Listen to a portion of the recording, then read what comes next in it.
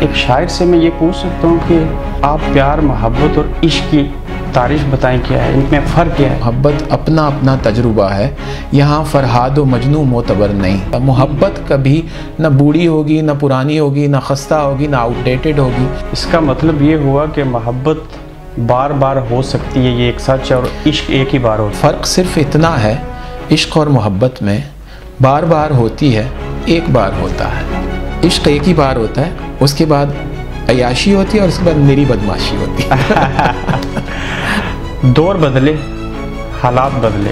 سوچ بھی بدلی۔ جی۔ یہ محبت کی مٹھاس اور محسوس کرنے کی حصے وہی ہیں انسان کی آپ کی ایکسپریشن کا سٹائل ضرور بدل جائے لیکن اس کی شدت اور انٹینسٹی اور گہرائی نہیں بدل سکتی۔ یہ پھر محبت اظہار کیوں مانگتی ہے؟ کہ محبت اپنے ہونے کا ثبوت اپنے اظہار میں مانگتی ہے۔ جو اس کا آغاز ہوتا ہے محبت کا وہ آنکھوں سے ہوتا ہے یا دل سے ہوتا ہے؟ دل کو اس گناہ کی سزا بھگتنا پڑتی ہے جو کہ آنکھیں کرتی ہیں۔ یہ محبت ہونے کے لیے حسن ضروری ہے؟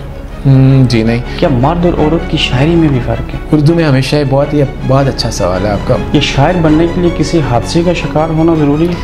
یہ ایک کلیشے سوچ ہے جو شاعر کے لیے کسی ٹکر کا حادثے کا انکلوژن کا کی ضرورت نہیں ہے۔ کیا شعر کی ڈیفینیشن یہ ہے کہ اس میں ردیف اور قافیہ برابر آنے چاہیے جی نہیں یہ تو ایک بچہ بھی جانتا ہے۔ شاعری صرف قافیہ پیمائی ہے تو یہ قافیہ پیمائی ذرا کر کے تو دیکھو۔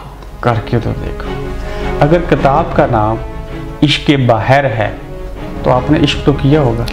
اور ظاہر ہے کہ عشق یہ بغیر عشق تو دو ہی ہیں نا مجازی اور حقیقی۔ جی نیچر سے عشق جو ہے وہ ان دونوں ڈیفینیشنز میں نہیں آتا۔ محسوس تو میں بھی کرتا ہوں لیکن شعر نہیں کہہ سکتا۔ یہ ایک خدا داد صلاحیت اور ایک خدا کی عطا کردہ ودیت ہے۔ یہ شاعر تنہائی پسند کیوں ہوتا ہے؟ شاعری مردم بیزاری کا نام نہیں ہے۔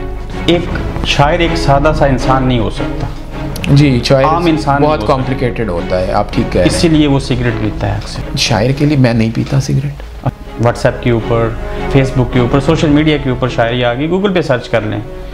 کیا اس طرح کے حالات نے شاعروں کو پروموٹ کیا؟ ان کی اہمیت کو بڑھایا یا کم؟ بھیا اس پہ دو اسکولز آف تھاٹ ہیں۔ اپنی مدد آپ سارا کچھ کرتا ہے۔ حکومت کو بھی کچھ کرنا چاہیے آپ بالکل کرنا چاہیے یہ ایبسلوٹلی رائٹ ہمارے کلاسک شعراء جو تھے اپنا پسندیدہ شعر سنائیے۔ تم بھی ہو بیتے وقت کے مانند ہو بہو تم بھی ہو بیتے وقت کے مانند ہو بہو تم نے بھی یاد آنا ہے آنا تو ہے نہیں۔ دیکھنا یہ ہے کہ کیا شاعر اور شاعری آج بھی زندہ ہے؟ کیا آج کے دور کا شاعر جو ہے وہ معاشرے کے اندر اور ملک اور قوم کے اندر بہتری لا سکتا ہے؟ وہ نوجوان جو آج سوشل میڈیا کی نظر ہو گیا، کیا یہ شاعری ہمارے نوجوانوں کی سوچ کو، ان کے ویژن کو بدل سکتی ہے؟ آپ دیکھ رہے ہیں گورکھ دھندا ابرار قریشی کے ساتھ۔